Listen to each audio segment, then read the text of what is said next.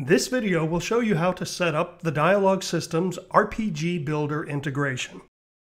It just covers the integration setup steps. It doesn't cover the basic use of the dialog system, which you can learn from the regular dialog system video tutorials. I'm starting in a project in which I've imported only RPG Builder and the dialog system. I've also created an empty folder named Game that we'll use later in this video. The first step is to import two Unity packages. The first is in Plugins Pixel Crushers common third-party support named RPG Builder Support.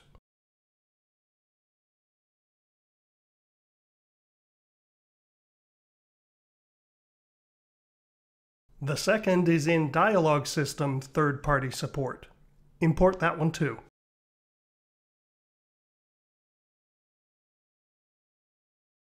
This integration will let you set up NPCs that can play dialog system conversations or barks, including conversations that control quests, set up interactable objects that can play conversations or barks, access generally all RPG Builder features inside your conversations, and use the dialog system's quest system if you prefer to use that instead of RPG builders.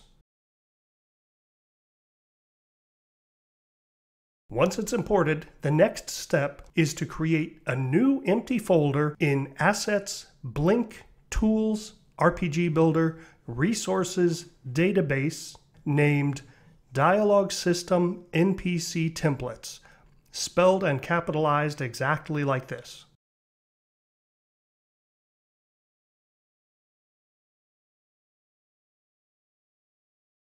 Next, in the Resources folder, go into the Editor Data folder, Editor Categories, and inspect the AI asset.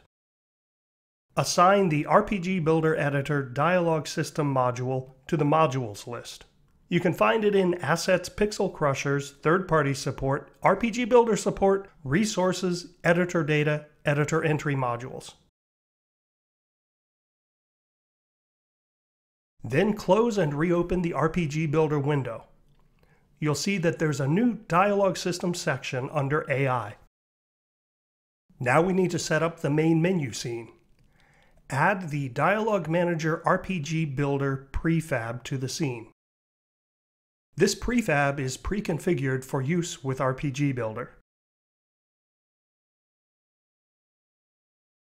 You can also add a dialog manager to your gameplay scenes for quick playtesting in them too.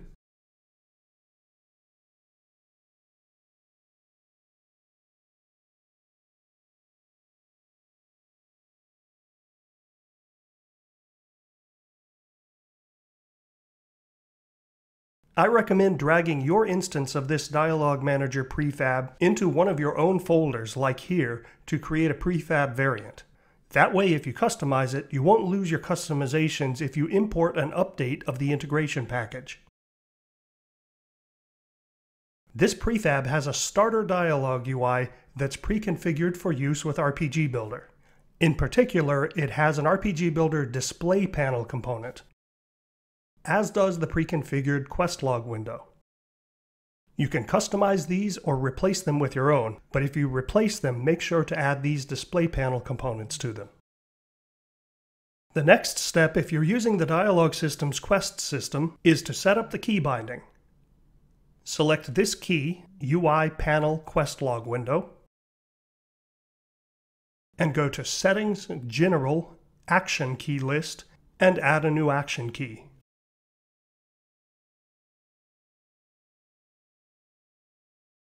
Paste in the action name, give it a display name that RPG Builder will show, and select the default key.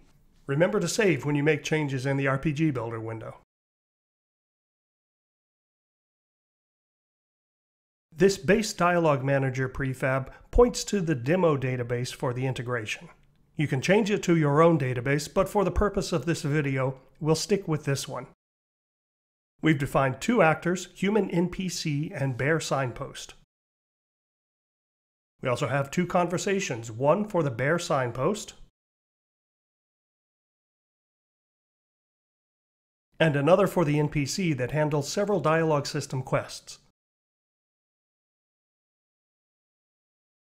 These are the quests that the conversation handles. So now we'll set up an NPC to play a dialogue system conversation. Inspect the NPC and under Functions make sure the dialogue question mark checkbox is ticked.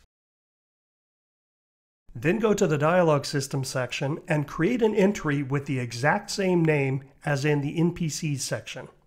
For this one, we'll specify that the NPC has a conversation on interaction. Select the conversation We'll bypass the regular RPG Builder interaction conversation, and no need to pause during the conversation because our dialog UI is already configured to pause. You can also turn that off on your dialog UI if you like. Now we'll go to the demo scene and add the demo prefabs so that we have something to play with.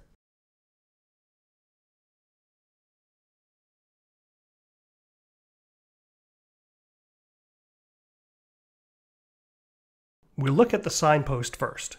The signpost has a trigger collider and an interactable object set on trigger enabled.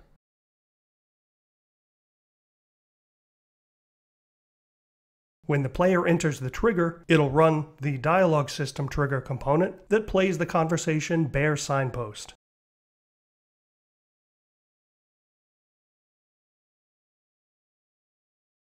We've also configured this signpost with a dialog actor component that specifies to use an overhead bubble style subtitle panel.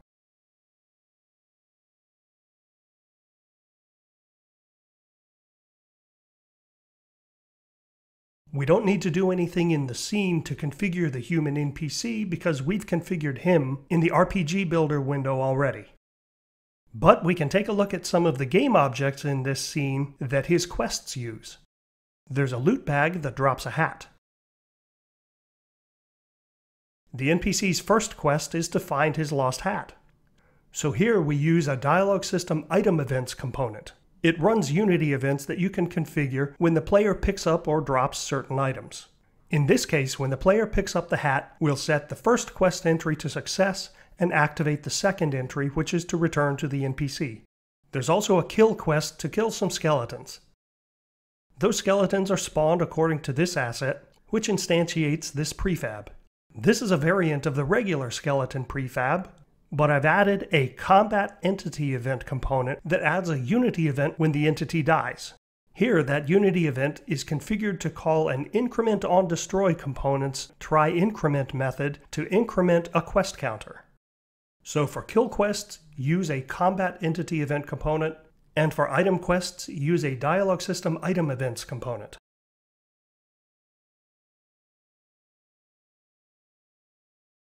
Going back to the conversation, you can see that it uses a library of RPG Builder specific Lua functions that the integration has added. Those Lua functions are all documented in the RPG Builder integration page of the online manual. So let's give this a play.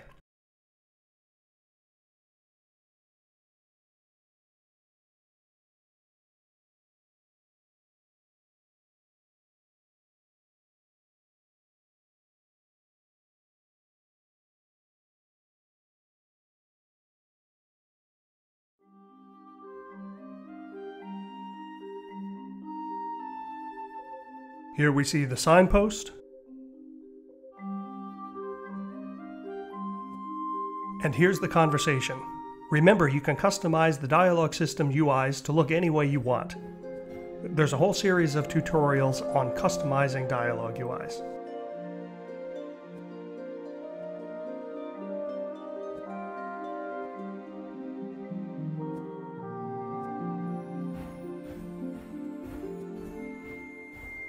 Now one last thing, if you're using the Dialog Systems Quest system, you might want to add a button on the toolbar. To do that, edit the HUD prefab, and in the Toolbar Buttons section, add a new button.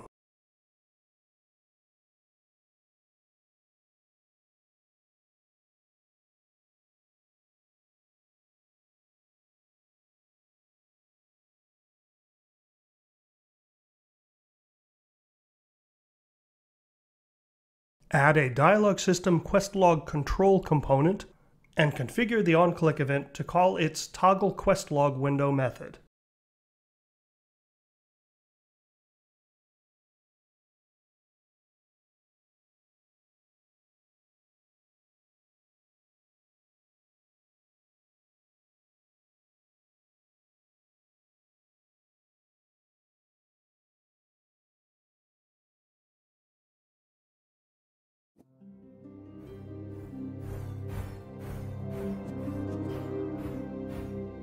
So now if we click that button, it'll open the quest log window.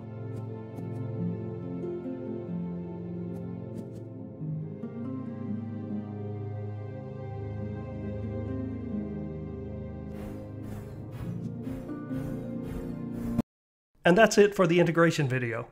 Remember that all regular dialog system features are available to you in your RPG Builder integration too.